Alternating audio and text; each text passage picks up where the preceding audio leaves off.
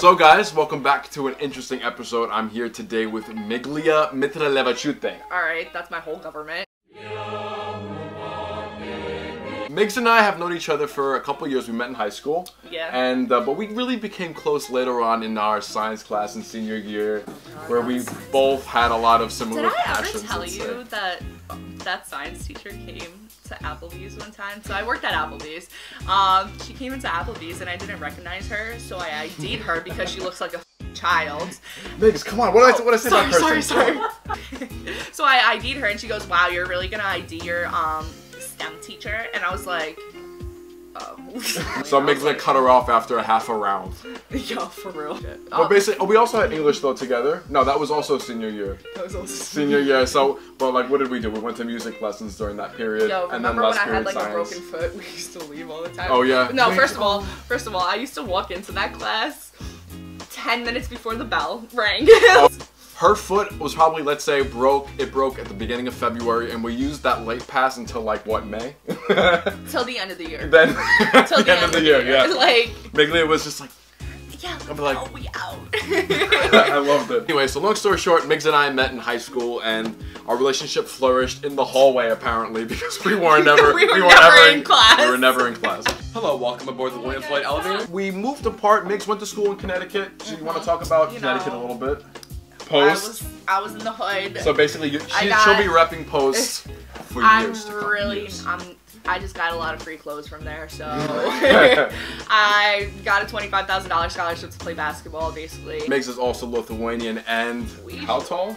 Six two. That's it. She's like she goes like this to drop the ball in the basket. Like overall during that time though, like Migs and I really didn't get the chance to chat. I was in New York City. Yeah. Migs was up in Connecticut. Yeah, you were up in Connecticut, Yeah. Migs. So it's like, yeah, we chatted here and there. You know, Yeah, on we did. FaceTime, like Instagram, Yo, Snapchat. we really like used to actually FaceTime each other a lot. yeah, Do you remember, that? that? I'd be like, I'd be like, you know, and like, yeah, like, and then I'd be what's like, oh, up?" same. And now I'm at St. John's. St. John's in Queens, so I'll look full circle moment now. She's you in New York. City. All right, I she should have gets always it. been in New York City. Probably so, yeah. You would have been.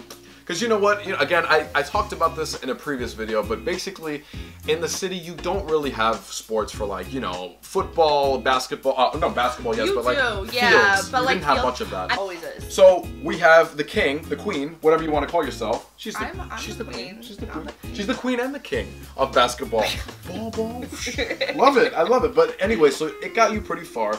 Your height, the lith DNA got Yeah. you places. Yeah. I was called the walking bucket for a reason. Period. So let me just say, Migs and I were just chatting for the last half hour, catching up because we haven't seen each other in like three years, honestly. Yeah. And I've been posting YouTube videos more and more, and she's been like, oh, like she promoted me like a yeah. like a, a real one last A week. real friend, So. I was like, come through, Migs, let's make a video together. So this week we're talking about Migle, her accomplishments, but also Lithuania, which, if you guys know Lithuanian, they're extremely proud of their background, and if even are. if even if they're like a fourth generation, Yo, they're extremely proud.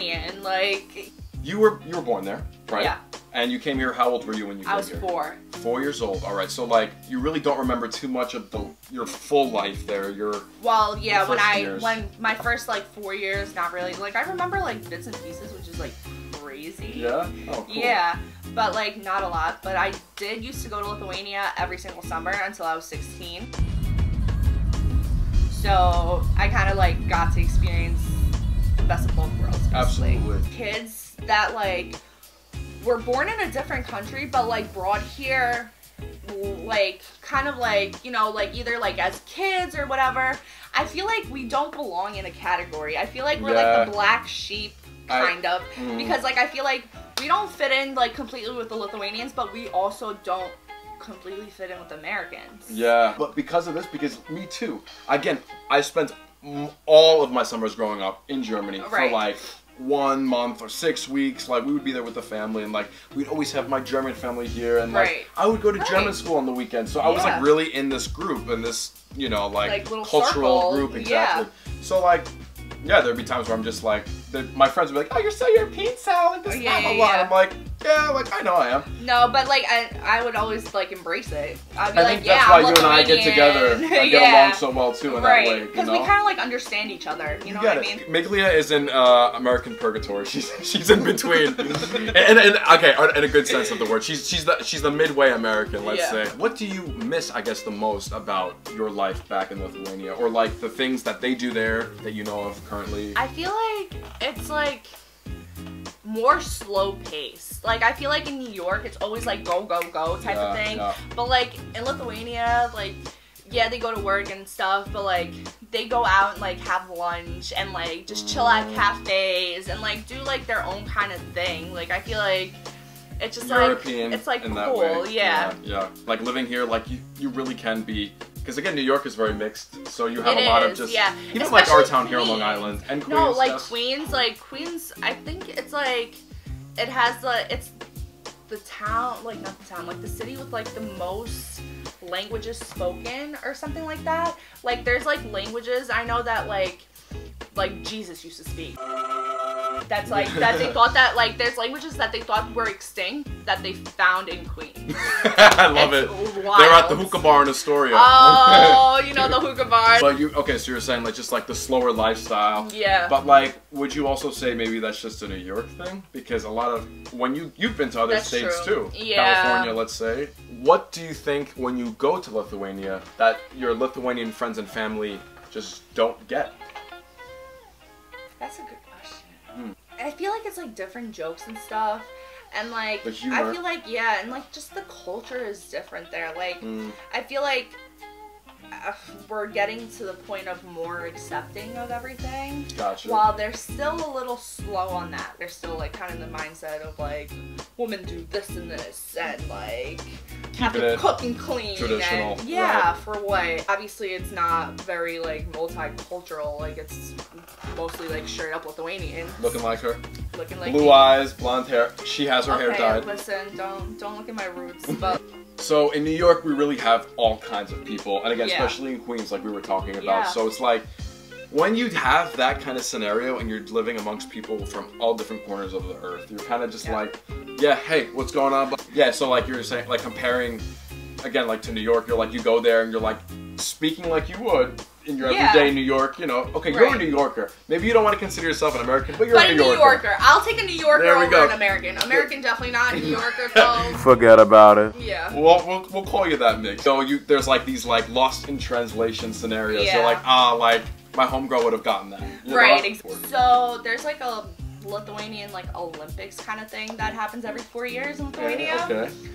So like people from like literally every corner of the earth that are Lithuanian like come and play like sports and it goes anything from like basketball, soccer, volleyball to like darts and chess. Oh, Like cool, it's cool. literally the whole spectrum of sports. See, and, and that's really cool to see because it's like you're one of the few countries that I am familiar with that, or cultures that I'm familiar with that are that's so like tight still. Yeah. Like you guys, if you're living in Argentina, you will fly those X amount of hours to Lithuania hundred and percent. And there get is together. like there's Lithuanians living in Argentina. I, And, I read that earlier. Yeah. I was like, they were saying Argentina, Uruguay, again, the United Yeah. States, Norway. there's there's a million Lithuanians living in Chicago. Huh, wow. Yeah. That's like A, a, quarter third, of. a third of Lithuania. So the real question is, how many Lithuanians would the country have today if they all didn't move out? you know. That's a question for Lithuania. You guys need to figure something Moving out. on. Why did they move out? Nah, I get it. Some like differences in life, Yeah. sure, but there's. But I'm saying, like in general, there's a lot of Lithuanians in New York as well. there's there's a bunch, but definitely not to Like where Chicago is. Uh huh. Or even LA. LA has a huge Lithuanian population too. Yeah, interesting. Okay. Yeah. I think that like New York is just like so big that people don't realize that like there's people like we have my mom's the president of the Eastern Long Island Lithuanian community. Oh, okay. But then there's also a community in the city. There's a community in Rochester, like just like Oh, yeah, everywhere, you know. But you know they're all on like the same Facebook group or wherever, Oh, trying yeah. to communicating daily. Like, yeah, there's like a whole like Lithuanian. I don't know what it's called. Like it's not like a parliament, but like for like America, like basically like there's like a whole group that like they're like the heads of Lithuanians in America kind of thing, Oh, and they like figure stuff out, especially basketball and stuff. Mhm. They like plan things all the time. There's always like um, a tournament in DC every year. Oh, it's called like the. Ambassadors Tournament or something like that. And there's one that's always in Long Island. We actually have one at William Floyd High School. Oh, good shit. Yeah. Well, cool. You could walk there and then come back, I you know, a little tipsy off the vodka, right? It's not like always all vodka. like yo, my family, honestly, all my family drinks is Henny. We don't even drink vodka. I love it. You're New Yorkers. Yeah, I know. So, what is that? I, I remember a few years back you went to Baltimore for like a Lithuanian, like a, like a Lithuanian festival. Oh, Yes, it was like a it was reunion. um.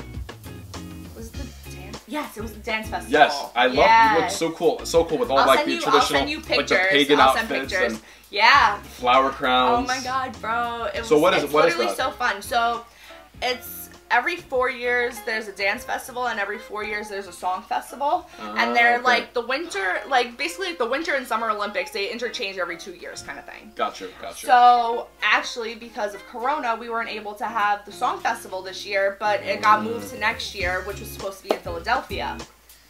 Okay. Yeah. So, And I was supposed to go, and I'm really upset. But it's literally like Lithuanians again from like hey, but look, you'll have of- one, and then the next year another one, right? The dance. yeah, and then the dance one is like the year after that. But like Lithuanians from a lot of places, like there's like Lithuanians that come from Lithuania to these like festivals and stuff. Oh, cool. Yeah, and honestly, it's a big party for like four four days.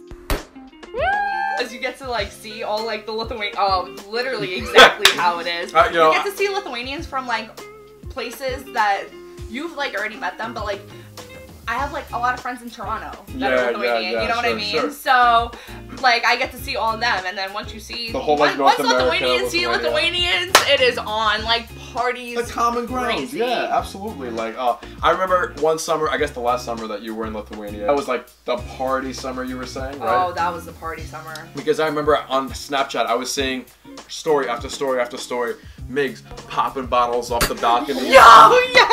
Like she's like talking Lithuanian in her Snapchats, like, Yes. I, and I I could translate that easily. She's like, pass it, you know. so Migs is having a good time, and it's like it seems like there's a nice like balance of like work and play there as Yeah. well. But like it I also mean, doesn't there was just a lot more play than work in that internship, but It's here too. It's just like Yeah. the culture transcends transcends like yeah. anywhere But they I feel are. like it's different partying though. Like I feel like Lithuanians go so hard. yeah, Just maybe. So hard. Yeah, you're right. I'm I feel like I got old. Like I feel like I don't party like that anymore. You got old in those 30 days that you were there. Thank you for the excellent information. Uh, actually, where's my phone? I would like to do Oh, like God, the, the here true we or go. false. So, um, Keep it away from me because I cheat.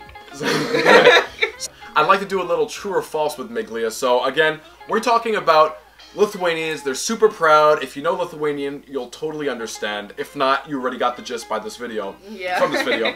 and um, I'm just gonna do a little true or false question and answer. Um, and let's see if she really knows her history. I'd like to see it on the paper, basically. All right, let's go. So, okay, true or false, Migle? On February 4th, 1991, Iceland became the first country to recognize Lithuania. What kind of question is this? I don't know about Iceland. But who is one of your biggest allies? Is it Iceland? It's Iceland, Migle. Eh. true or false? Is Lithuania roughly the same size as the U.S. state West Virginia? True. True. Yes. I told you that. I know though. you did. I told you that, but it is did tell me true. True or false? Does Lithuania have their own signature perfume called the scent of Lithuania?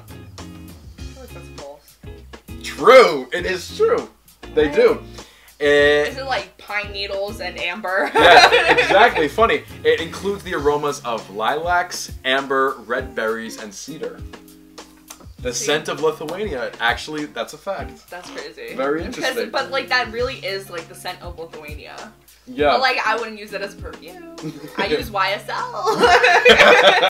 Lithuanians are, uh, no, basketball, we already know that they're Uh, kick ass in, in Europe. That's literally like our second religion, basketball. That's really what they call it. Yeah, It's really. funny. Yeah. So first we had paganism, then we had Christianity, now we have ball. Love it. The, the It's whole the either- whole transition. The first one's Catholic, the second one is basketball. Is it true you could have an authentic KGB experience called 1984 survival drama where you pay money to I be feel a like citizen? that's yes, that's true. Yes. Yes, That is yes. true. All right, Migle, last question. All right. Um, let's see what we can pull out here. Give you a little bit more of a challenging one. A challenge. I got like four wrong already. How more Well, challenging well, can we get? Let's see. Let's see if you could. Uh, well, you've been pretty good too. I think it's about a 50 50 so Okay, okay, far. We'll okay. call it that. Um, true or false? Lithu- Lithuania was never the biggest country in Europe. That's false. False. Yes, girl. Yeah. Because by the end of the 14th century, Lithuania was in fact the, the largest country in Europe. We had So it- kingdom. Yeah, it encompassed um, Poland, had a whole modern day. Poland. Yeah, isn't Yeah, it? it was called like the Grand Duchy of Lithuania. Oh, okay, and it had like modern day Poland, Germany, Lithuania, the Yeah, Bal- I think it Baltic went- states. Yeah, the Baltic Sea. I think it went all the way down to the Black Sea, if I'm not mistaken. Mm, very cool. Yeah. See that? And I didn't know that too. I thought Lithuania Yeah. always was its own little pagan niche. Yeah, like a little Up in the tiny country, like nobody ever knows. So thank you all for tuning in for the third episode here, and thanks for hanging with Migs and I. I hope you guys learned something. I know I did, definitely. Migs is a character, and I love hanging out with her, and I'm glad Yes, that she came over again and had a beer with me and uh, Yeah, had a nice chat with me. So exactly. Migs, dap me up, girl. Hell yeah. Definitely won't be the last time though, so look out for that. So take care, enjoy, and I'll see you guys next week. Bye guys. See you soon.